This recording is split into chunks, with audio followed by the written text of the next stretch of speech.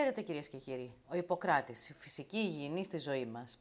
Και για να μπούμε γρήγορα γρήγορα στο θέμα μας, σήμερα θα συζητήσουμε εδώ με τον κύριο Γρηγόρη Σοφρονιάδη, τον πρόεδρο του Συνδέσμου Φίλων Φυσικής Υγιεινής και Φυσιοθεραπείας ο Ιπποκράτης, για, τα για τις καρδιαγγειακές παθήσεις, την πρόληψη και τη θεραπεία τους. Καλησπέρα κύριε Σοφρονιάδη. Καλησπέρα σας και πάλι χρόνια πολλά. Όπως είπατε το θέμα μας είναι πάρα πολύ μεγάλο, πάρα πολύ πλατή και αφορά πάρα πολύ κόσμο. Αφορά πάρα πολύ κόσμο γιατί σύμφωνα με τις έρευνες πάρα πολύ μεγάλο είναι το ποσοστό που υποφέρει σήμερα από στεφανιές νόσους και δυστυχώς καταλήγουν κιόλας αυτοί οι άνθρωποι. Τα καρδιαγγειακά νοσήματα θερίζουν σήμερα όλη την ανθρωπότητα. Τα θέματα πρέπει να σας πω που αναλύουμε εδώ έχουν πολύ μεγάλη επίχυση στον κόσμο και αυτό το καταλαβαίνω από τα τηλεφωνήματα που δεχόμαστε εδώ στην Αλφα Τηλεόραση από ανθρώπους που ενδιαφέρουν να μάθουν πολύ περισσότερα πράγματα και μου ζητάνε μάλιστα έναν τρόπο επικοινωνίας μαζί σας προκειμένου να τους βοηθήσετε. Αυτό συμβαίνει, με παίρνουν και εμένα τηλέφωνο, δίνω κάποιες οδηγίες, ευχαριστούν οι άνθρωποι για αυτά γιατί είναι πρωτάκουστα αυτά που ακούνε. Εμείς δεν λέμε τίποτε περισσότερο από ότι λένε οι φυσιοθεραπευτές για την φυσική υγιεινή διατροφή και ζωή γενικά. Αυτά τα οποία λέμε εμείς εδώ, σε αυτή την εκπομπή, είναι αυτά που πραγματικά συμβαίνουν στον άνθρωπο όταν αυτός ακολουθεί τα προστάγματα της φύσης και ακολουθεί τη φυσική υγιεινή. Επανέρχεται η υγεία του όταν έχει πρόβλημα. Ε, πράγματι... Πρέπει να πούμε ότι τα καρδιαγγειακά νοσήματα είναι και αυτά μια μάστιγα της εποχής. δηλαδή, οι περισσότεροι άνθρωποι ε, που νοσούν είτε είναι είτε από καρκίνο είτε από καρδιαγγειακά νοσήματα. Έτσι είναι. Θα το πούμε στη συνέχεια. Θα πούμε και τα ποσοστά που υποφέρουν οι άνθρωποι. Σήμερα όλες οι έρευνες μας δείχνουν ότι ένας στους τέσσερις θανάτους είναι από καρδιαγγειακά. Ένας στους τρεις δυστυχώς και βαίνει προς το ένα προς δύο είναι από καρκίνους. Δηλαδή είναι, είναι πραγματική πρώτα τη τάξη. Ναι, ναι, είναι από τις πρώτες παθήσεις που προκαλούν τον θάνατο. Τα, καρδιαγγειακά, τα καρδιαγγειακά νοσήματα είναι πάρα πολλά. Τα καρδιακά μάλλον είναι πάρα πολλά. Γιατί Τώρα, να μιλήσουμε για την πρόληψη. Θα μιλήσουμε πρώτα για τις ασθένειες. Και μετά έτσι για να την πάρει πρόληψη. μια ιδέα ο κόσμος. Και μετά θα πούμε για την πρόληψη και για την θεραπεία με φυσικά μέσα. Τα καρδιακά νοσήματα είναι καρδιακή ανεπάρκεια, είναι στιθάγχη, είναι η πίεση της καρδιάς, είναι η ανεμία γενικά, η υπόταση, η χαμηλή πίεση, είναι η κυρσή, η φλεβίτης, είναι η εμβολή, η θρόμβωσης ή η αποπληξία, είναι η γάγκρανα που προέρχεται από καρδιαγγειακά νοσήματα, είναι η αρτηριοσκλήρωση, η ενδοκαρδίτιδα, η περικαρδίτιδα, η μυοκαρδίτιδα, βαλβιδική ανεπάρκεια της καρδιάς και οι στεφανιές νόσοι, οι οποίες είναι, όταν λέμε στεφανία νόση, τι εννοούμε, εννοούμε ότι οι αρτηρίες της καρδιάς από πάνω έχουν κάποια πάθηση και συνήθως αυτή η πάθηση οδηγεί ή σε bypass, αν το προλάβει ο ασθενής, ή σε αμφράγμα. Και πολλές φορές δεν προλαβαίνει καν ο ασθενής να πάει στο νοσοκομείο, μπορεί να πεθάνει και στη διαδρομή. Ποιες είναι οι αιτίες που προκαλούν αυτές τις παθήσεις; Οι αιτίες. Η κακή διατροφή και η κακή ζωή. Ακριβώς. Είναι η κακή διατροφή και η κακή ζωή. Αλλά πότε ξεκινάει, από ποια ηλικία ξεκινάει μια καρδιακή πάθηση. Δυστυχώς από πολύ μικρή ηλικία. Από έρευνες που έγιναν στην Αμερική, σε παιδάκια 15, 12 και 15 ετών, βρέθηκαν στις αρτηρίες τους ότι υπήρχε αθυροσκλήρωση. Δυστυχώς. Και αυτό οφείλεται στην διατροφή την ταχεία, στα, στα ταχυφαγάδικα.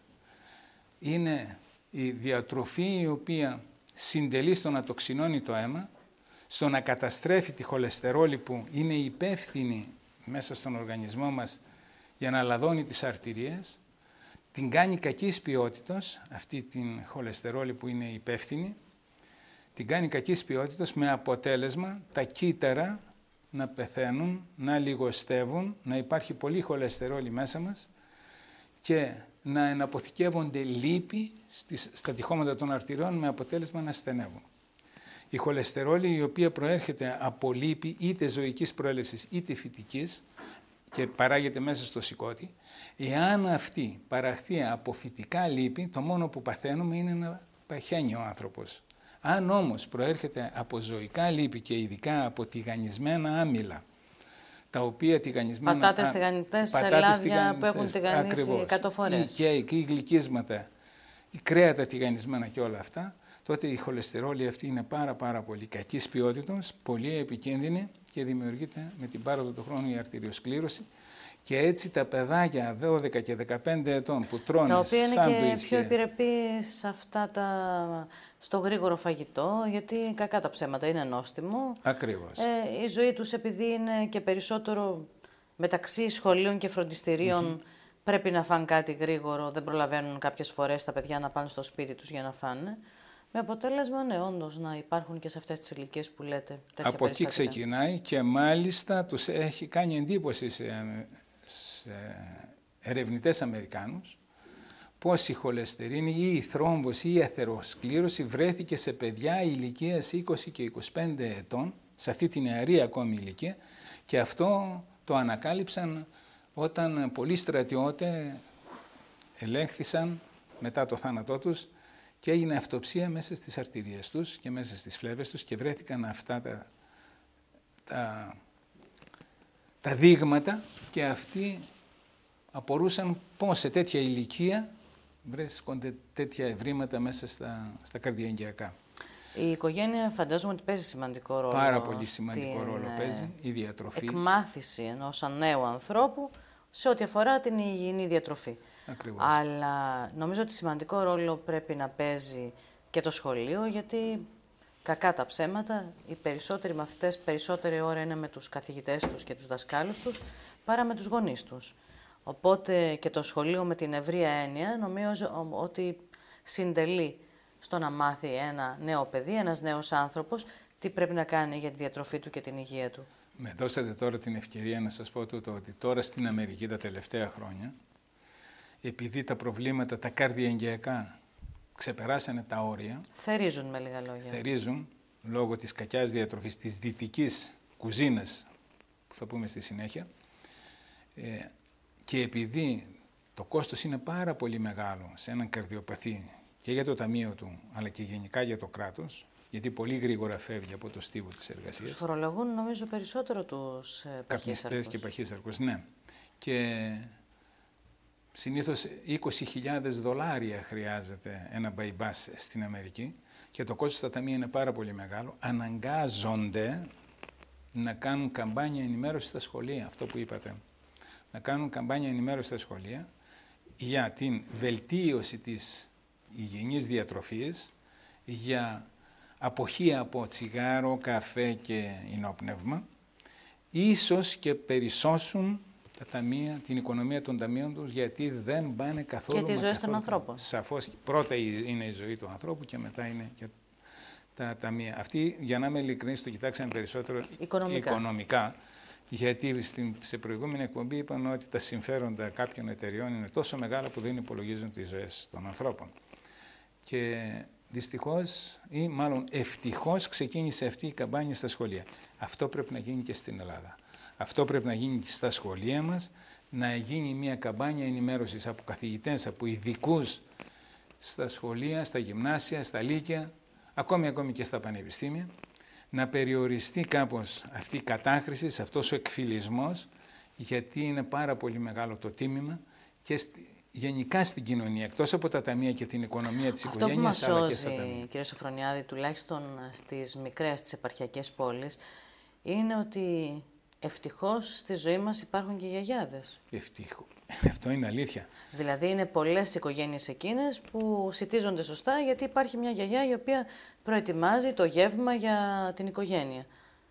Γιατί όταν δεν υπάρχει γιαγιά, ε, τις περισσότερες φορές καταφεύγουν οι οικογένειες σε έτοιμο φαγητό και κακής ποιότητας φαγητό. Ή γρήγορο ακόμη και στο σπίτι. Η, η, η γιαγιά η οποία έχει την ανατολίτικη κουζίνα μέσα στο μυαλό της και οι, οποία, οι οποίες γιαγιές και οι γονείς μας ήταν συνηθισμένοι να δουλεύουν πολύ. Ήταν υποχρεωμένοι να θρέφονται και καλά. Και γιατί το λέμε αυτό, εκτός που δεν είχαν και πολλά χρήματα για να αγοράζουν αυτά τα έτοιμα φαγητά, τα κρέατα και τα αλαντικά κτλ. Μα δεν υπήρχαν και παλιά, υπήρχαν κατά μπακάλικα και δεν, δεν είχαν μέσα παλιά. τυρί, ελιές και άντε. Αλλά... Στην καλύτερη περίπτωση και ένα σαλάμι αέρος. Ναι, αλλά οι άνθρωποι ό,τι έβγαζε ο μπαξές τους, ό,τι έβγαζε το χωράφι τους ε, Και μάλιστα εποχής. Καλοκαίρι, πάντα, ντομάτα, γκουράκι, κολοκυθάκι, μελιτζάνα. Πάντα εποχής και είχαν καλύτερη υγεία από ό,τι έχουν σήμερα οι άνθρωποι. Σήμερα οι καταχρήσεις που γίνονται σε όλη την έκτασή τους αν την λάβουμε και αν τις μετρήσει κανείς ε, πραγματικά θα πέσει από τα σύννεφα γιατί Αυτό... ξεκινάνε από το σπίτι και καταλήγουν στην καφετέρια ή οπουδήποτε όλο το βράδυ. Αυτό που ήθελα να σας ρωτήσω είναι μια παρένθεση βέβαια στη συζήτηση. Είναι προτιμότερο ε, αν το χειμώνα θέλουμε να φάμε φασολάκια, να φάμε τα κατεψυγμένα φασολάκια ή να φάμε τα φρέσκα που δεν είναι εποχής, που πολλούνται όμως στα μανάβικα; Λοιπόν, εγώ θα σας το γυρίσω αλλιώς το ερώτημα. Είναι ανάγκη να τρώει ο οργανισμός ε, τροφές εκτός εποχής; Όχι, αλλά ας πούμε ότι θέλει να φάει. Τι είναι προτιμότερο από τα δυο; Λοιπόν, και η κατάψυξη, η, η κατάψυξη το μόνο που κάνει είναι να συντηρήσει αυτά, αυτά τα στοιχεία που είχε, να τα παγώσει και να τα συντηρήσει. Δεν αλλοιώνει τίποτε, δεν καταστρέφει εύκολα τίποτε. Αν όμως η φρέσκια τροφή το φρέσκο φασουλάκι είναι άγνωστο, είναι προτιμότερο να χρησιμοποιήσουμε το κατεψυγμένο. Το κατεψυγμένο. Είναι προτιμότερο. Και μάλιστα πολλές είναι οι νοικοκυρές οι οποίες παίρνουν το καλοκαίρι και βάζουν στη δική τους κατάψυξη τα φασολάκια τα δικά τους, τις επιλογές τους. Αυτό για μένα είναι πιο ασφαλή. Είναι πιο ασφαλή. Είναι πιο ασφαλή αυτό για μένα. Γιατί τα άλλα που είναι εκτός εποχής θα πρέπει να υπάρχουν ή άλλοι μέθοδοι που χρησιμοποιούνται για να τα τονώσουν. Ναι. Ή είναι εισαγωγής δηλαδή. Ή είναι εισαγωγής αγνώστου προελεύσεω. Είναι θερμοκηπίου με διάφορα Ακριβώς. φάρμακα, λιπάσματα κτλ. Ορμόνες, μεταλλαγμένα κτλ, κτλ. Οπότε είναι προτιμότερο δηλαδή και πιο ναι. ασφαλές για την οικοκύρα να, να παίρνει τα φασολάκια της το καλοκαίρι από τον παραγωγό ή από τον κήπο της, από τον παξέ της και να τα καταψύχει, ώστε αν έχει την επιθυμία να φάει η οικογένειά της το χειμώνα, να τρώει από αυτά. Και ε, εδώ μου δίνετε την ευκαιρία να πω το εξής, γιατί οι φυσιοθεραπευτές το επαναλαμβάνουν συνεχώς και συνεχώς.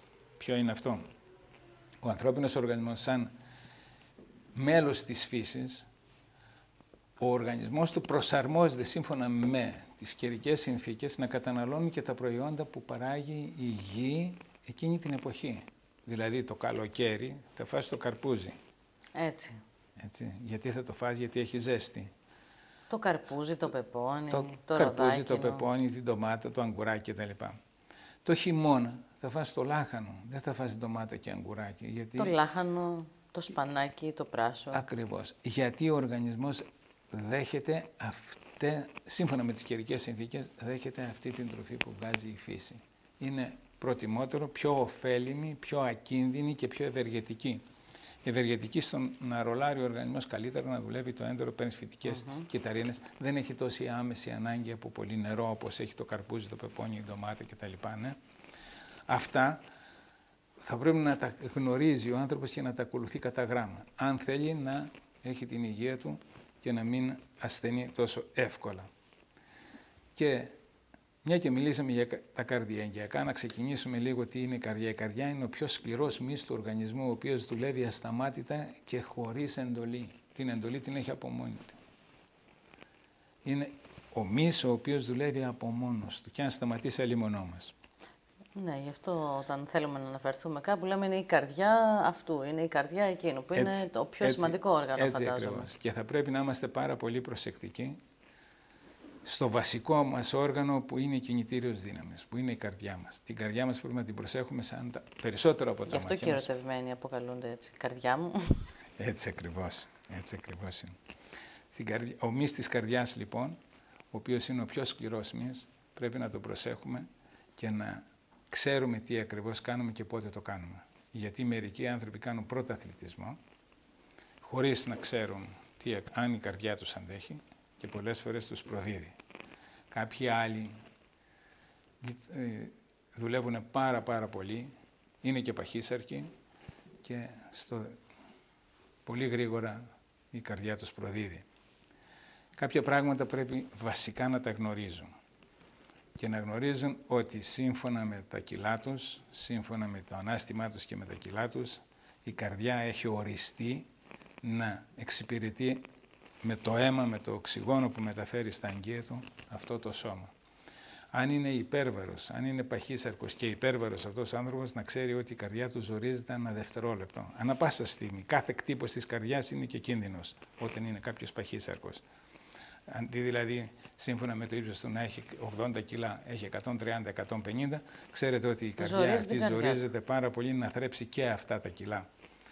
Και θα πρέπει να γνωρίζει ότι την καρδιά την έχουμε μέσα μας, η οποία μας κινεί και μας τρέφει, αλλά πρέπει να ξεκουράζεται κιόλας.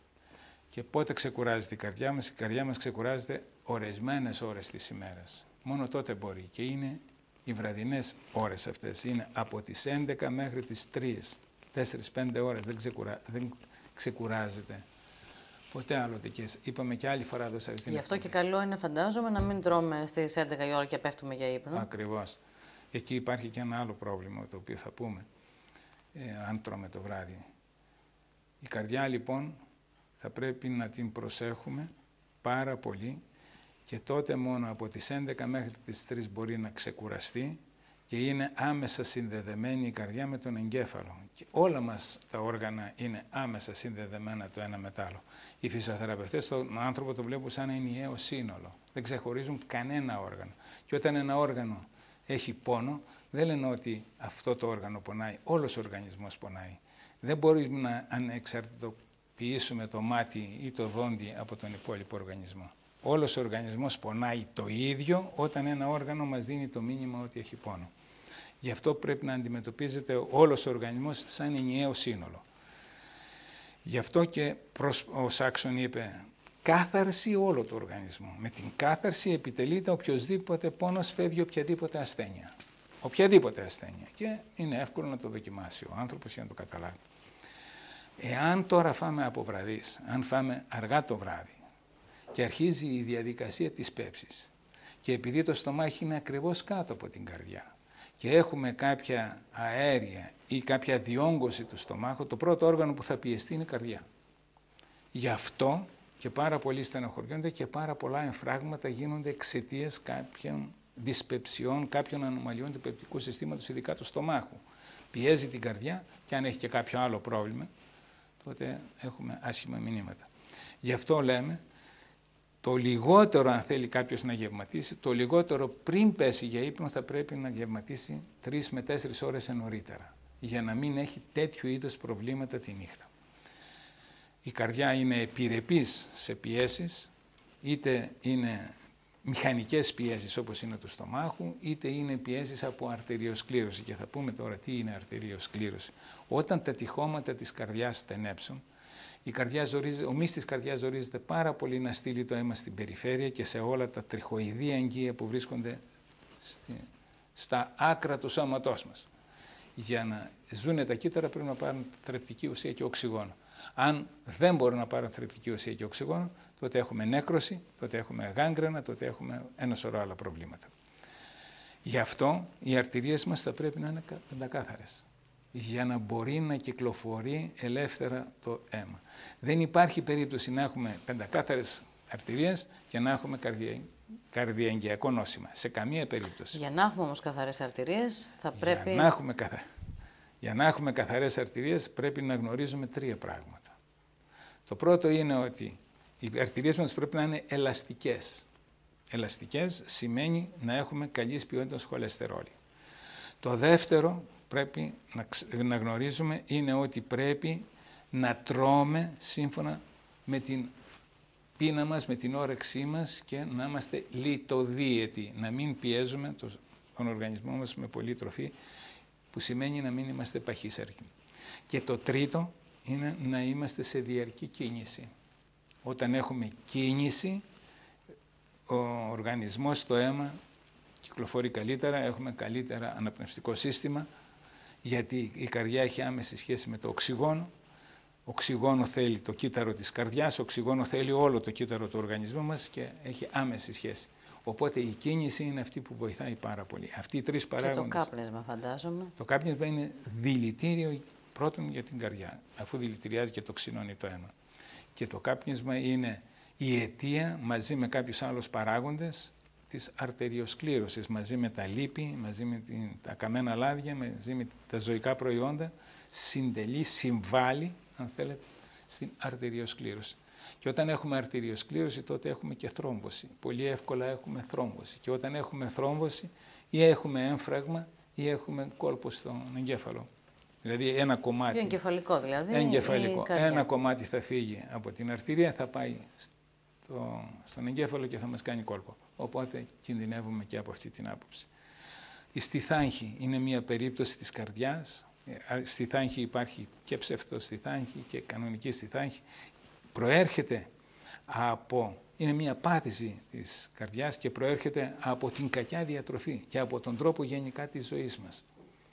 Αν έχουμε πολύ άσχημο τρόπο ζωής, δηλαδή καθιστική ζωή, ε, ξενύχτια, κάπνισμα, ποτό, καφέδες, ζωικά προϊόντα, τοξίνες γενικά, εκφυλιστική ζωή γενικά και στη θάνχη θα μας παρουσιαστεί και αν υπάρχει και καρδιά θα μας παρουσιαστεί και στη θάνχη τι ακριβώς, έχει πόνο, δηλαδή πόνο στην καρδιά; πόνο στο στήθος, οξύτατο πόνο, είναι προάγγελος του εμφράγματος συνήθως. Έχει και αυτό παρουσιάζεται συχνά ή μπορεί μια στις τόσες; Μία στις τόσες μπορεί να παρουσιαστεί. Α, μία στις τόσες ναι. έχουμε τη στιθάχη. Αυτό δηλαδή πρέπει να μας ε, Ανησυχεί. ανησυχήσει και ναι. πρέπει να το κοιτάξουμε. Βεβαίως. Στιθάχη μπορεί να μας παρουσιαστεί και από μεγάλη ποσότητα τροφής. Το στομάχο. Να πιέσει την καρδιά ναι. και να μας παρουσιαστεί πόνο στο στήθος, πόνο στο αριστερό χέρι, πόνο στην, στην πλάτη.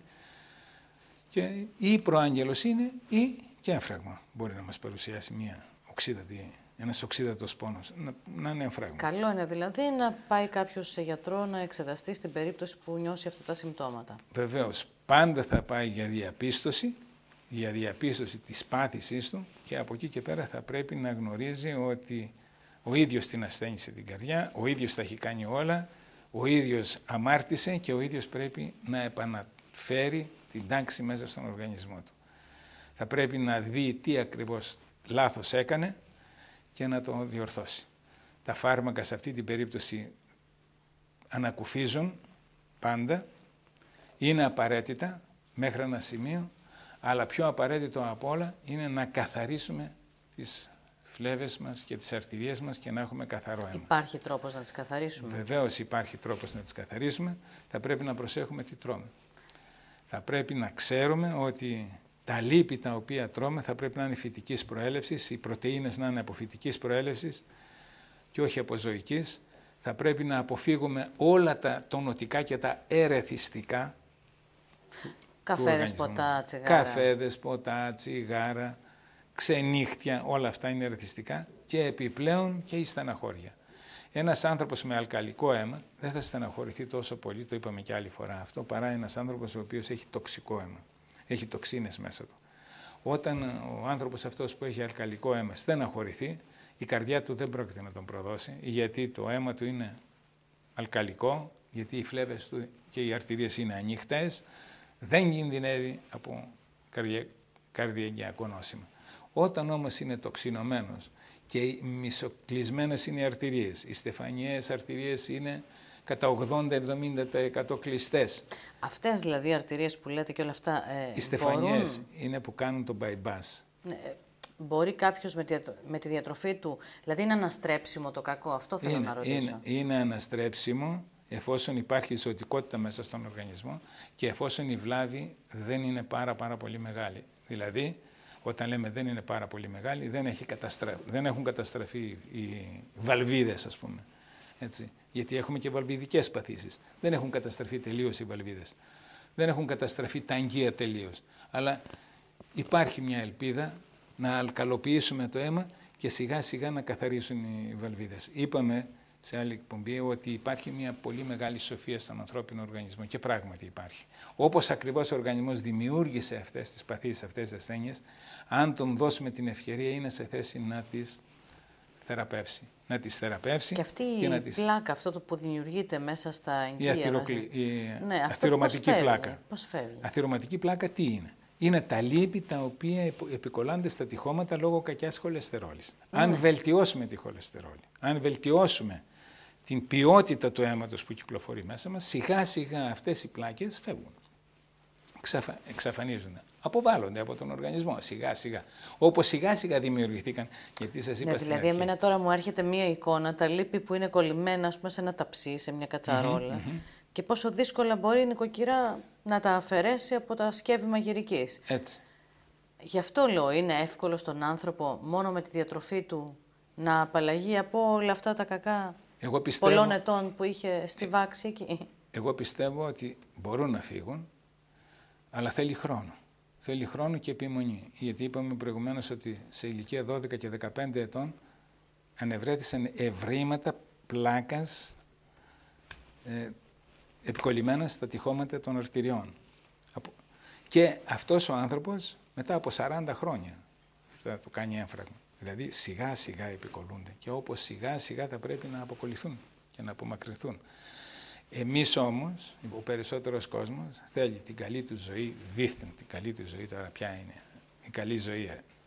Πώς εξηγείται καλή ζωή όταν υποφέρει, όταν πονάει, Σύμφωνα όταν με το στεναχωριέται. πρότυπο. Ναι.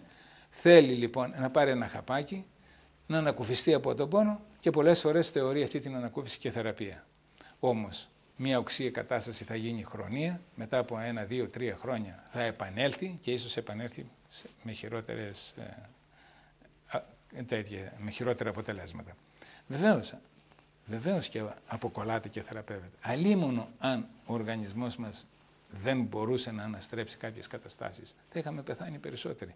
Πόσες φορές έχουμε αρρωστήσει, βρεθήκαμε σε δύσκολη κατάσταση και ο οργανισμός μετά από μία δίαιτα επανήλθε, χωρίς φάρμακα. Μετά από μία δίαιτα σε αρκετό χρονικό διάστημα επανήλθε, ανακουφίστηκε αφού αποτοξινώθηκε. Πολλές φορές. Και συνέχεια το βλέπουμε αυτό. Υπάρχουν επιστολές πάρα πολλών θεραπευθέντων με φυσικά μέσα με- σε τέτοιες παθήσεις ότι με σώσατε γιατί κινδύνευε η ζωή μου και έγινα καλά μετά από αυτή την αγωγή. Η οποία αγωγή ήταν η σωστή διατροφή, αλλαγή τρόπος ζωής, γυμναστική, κίνηση, μασάζ, λουτρά κτλ. κτλ.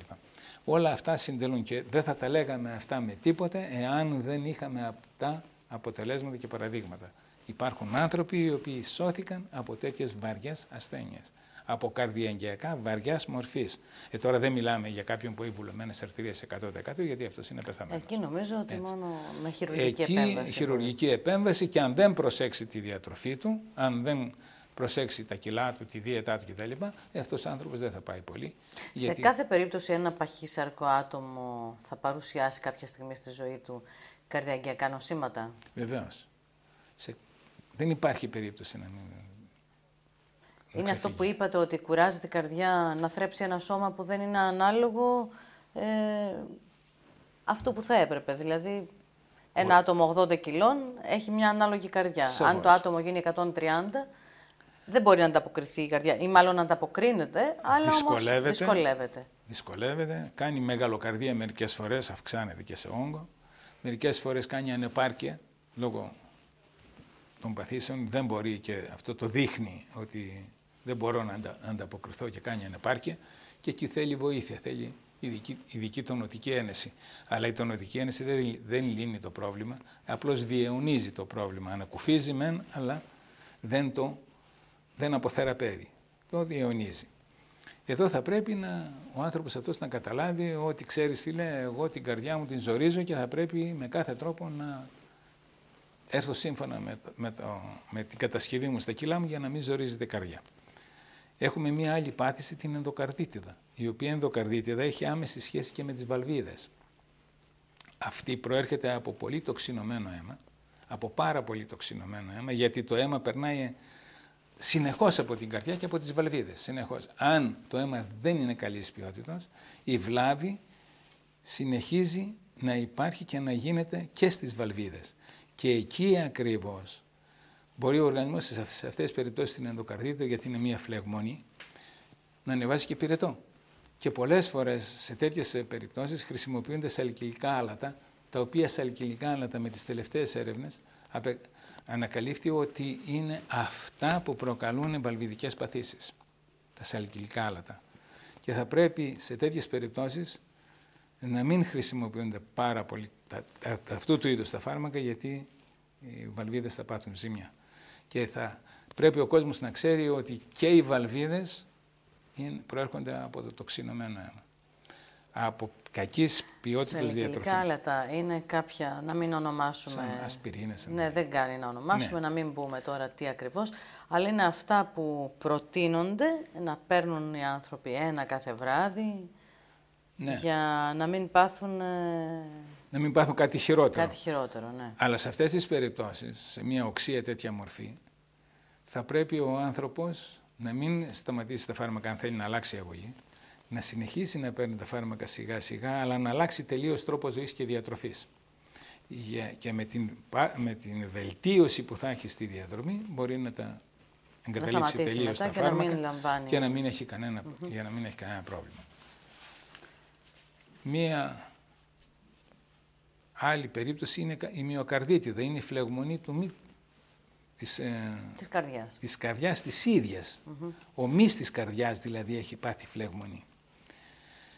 Αυτή μπορεί να είναι η οξία ή η χρόνια και προέρχεται από την γενική εκφύλιση του οργανισμού.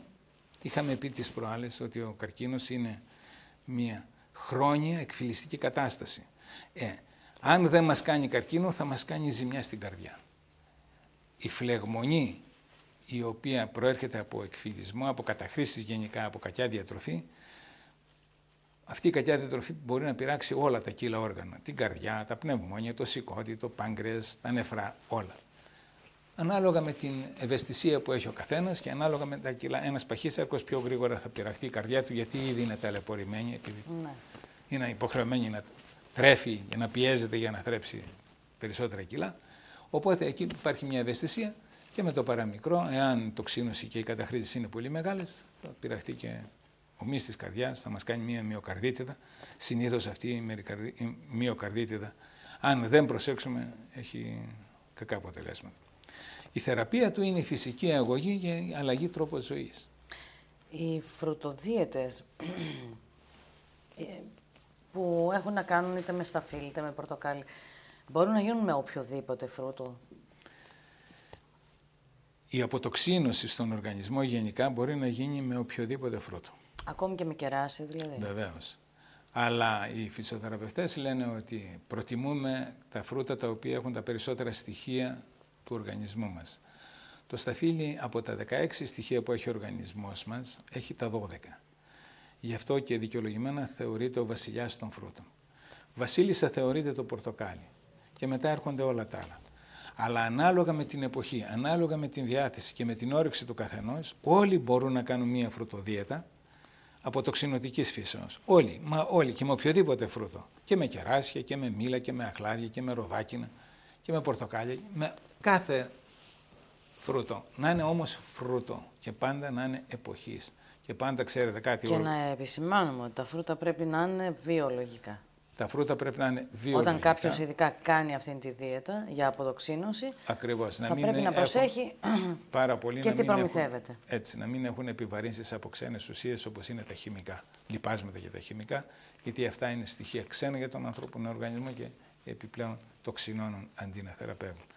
Τα φρούτα όμως, επειδή έχουν πάρα πολλά μεταλλικά άλατα, βιταμίνες και απεσταγμένο νερό, είναι απαραίτητα για τον οργανισμό μας θρέφουν την καρδιά, θρέφουν τον οργανισμό, τον ξεκουράζουν και παράλληλα τον αποτοξινώνουν. Ειδικά η σταφυλοθεραπεία η οποία είναι η σούπερ αγωγή για όλες τις ναι, ασθένειες. μόνο που δεν μπορούμε να την κάνουμε όλη τη χρονιά. Δεν μπορούμε να την κάνουμε όλη τη χρονιά, μπορούμε όμως να ξεκινήσουμε από το Σεπτέμβριο και να, το Σεπτέμβριο. και να πάμε μέχρι τον Νοέμβριο. Έχουμε τρεις μήνες στη διάθεσή μας που μπορούμε να κάνουμε. Αν και υπάρχουν και ποικιλίε σταφυλιών οι οποίες ξεκινάνε πολύ νωρίτερα και μέσα στον Ιούλιο έχουμε σταφύλια, τα οποία είναι, υπάρχουν και βιολογικά, τα οποία είναι πάρα, πολλά, πάρα πολύ καλής ποιότητας και μπορούν να ξεκινήσουμε και τον Ιούλιο. Οπότε έχουμε πέντε μήνες μπροστά μας που μπορεί κάποιος να κάνει μια σταφυλοθεραπεία διαρκείας ανάλογα με την πάθησή του. Και μια τέτοια αγωγή ε, επιτελεί δύο, δύο σκοπούς. Πρώτον, θρέφει τον οργανισμό και δεύτερον τον αποτοξινώνει αφού τον ξεκουράσει. Και τον αποτοξινώνει πολύ βαθιά, μα πάρα πολύ βαθιά. Δηλαδή οτιδήποτε σκουριά υπάρχει μέσα μας είναι σε θέση ο οργανισμός να την αποβάλει. Και αν κάποιος δοκιμάσει μια σταφυλοθεραπεία διαρκείας, θα δει ότι πράγματι αποβάλλει από τον οργανισμό του τέτοιες ουσίες, τέτοιες σκουριές, τέτοια καθαρσία που απορεί και ο ίδιος που βρισκόταν αυτή η ακαθαρσία.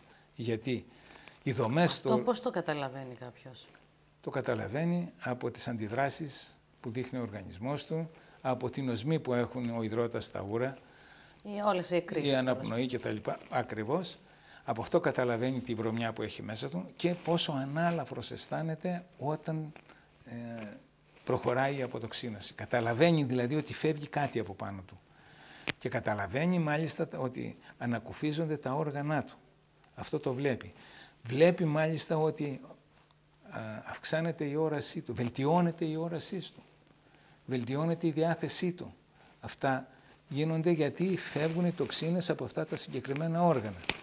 Βλέπει επίσης ότι έχει, αλλάζει η διάθεσή του και επιθυμεί να έχει ε, μια ζωή ήσυχη, ήρεμη και να βρίσκεται με ανθρώπους που άλλες φορές δεν τους θέλει τους ανθρώπους. Τον ενοχλούν, ενώ τώρα θέλει τον συνάνθρωπό του.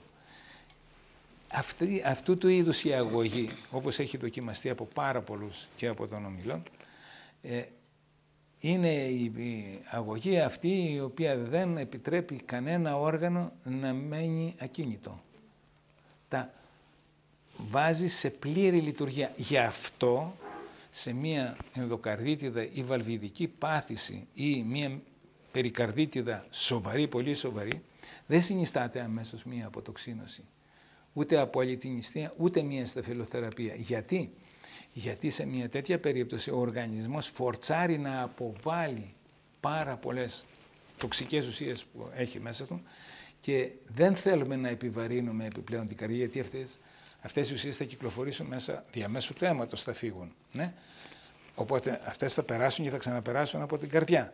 Οπότε εάν έχουμε τέτοιες ουσίες πολλές και η καρδιά μας είναι σε βεβαρημένη κατάσταση, αποφεύγουμε να Πάμε σε πιο ήπιες δίαιτες. Ακριβώς. Σε, πιο με... σε πιο ήπιες και σε διάρκεια χρόνου. Σε διάρκεια χρόνου.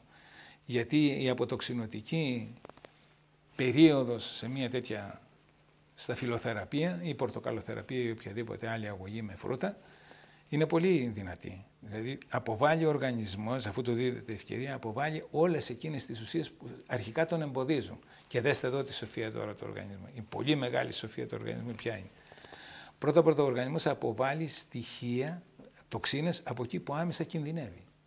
Κινδυνεύει από τι; Κινδυνεύει από το καρδιαγγειακό και από τα πνευμόνια, στο να οξυγονώνει το αίμα του. Τα πρώτα όργανα που θα καθαρίσει είναι αυτά. Τελευταία θα καθαρίσει τον εγκέφαλο ή τους σμής του σκελετού. Τελευταία, γιατί από εκεί δεν κινδυνεύει. Τον εγκέφαλο κινδυνεύει, αλλά εκεί θα τον τροφοδοτεί με καλό αίμα, είναι, έχει σχέση άμεση με την καρδιά. Αλλά από το ΣΜΙΣ τελευταία θα τους καθαρίσει.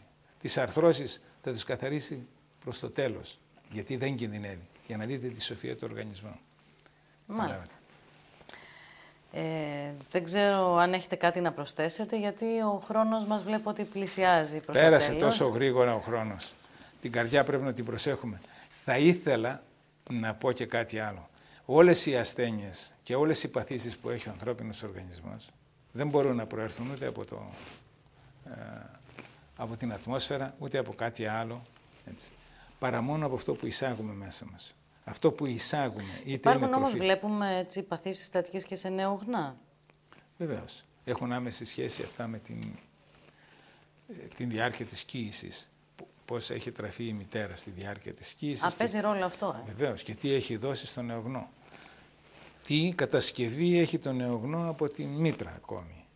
Αν η μητέρα έχει προβλήματα υγείας ή κακιά, κάνει κακιά διατροφή, θα φυσικά θα περάσουν στο νεογνώ. Πώς θα τραφεί το νεογνώ, όπου θα τραφεί το νεογνώ. Από, τη τροφή, από το αίμα της μάνας τρέφεται το νεογνώ. Και θα ήθελα εδώ να πω μια και μου είπατε αυτό για το νεογνώ, να αναφέρω το εξής ότι η χολεστερόλη, η επικίνδυνη, η χολεστηρίνη αυτή η λεγόμενη. Όπως την ξέρει πολύ ο κόσμος. Όπως την ναι, ξέρει ο πολύ ο κόσμος. Εάν κυκλοφορεί σε πολύ μεγάλη δόση και είναι επικίνδυνη μέσα στον ανθρώπινο οργανισμό, έχουμε και στηρότητα. Δεν έχουμε γονιμότητα στο, στα νέα παιδιά. Γι' αυτό, παράκληση, τα νέα παιδιά που δεν, γονιμο, δεν προχωρούν σε τεκνοποίηση, ας ψάξουν και τη χολυστερίνη τους. Ας κοιτάξουν δηλαδή τη διατροφή τους με λίγα λόγια. Να κοιτάξουν πρώτα τη χολεστερίνη για να καταλάβουν ότι η τροφή τους φταίει για την κατάσταση που έχουν φτάσει. Γιατί είναι υπεύθυνο και η χολεστερόλη για την γονιμότητά τους. Η, η διατροφή είναι το α και το ω του οργανισμού. Και να κλείσουμε με το η τροφή μου το φάρμακό μου, το φάρμακό μου η τροφή μου. Έτσι λένε όλοι οι φυσιοθεραπευτές. Και μάλιστα μερικοί λένε ότι σκάβουμε τον τάφο με τα δόντια μας. Όταν εμείς κάνουμε κακή διατροφή, τι κάνουμε, ανοίγουμε τον τάφο με τα δόντια μας. Έτσι μια πολύ ωραία παρομοίωση.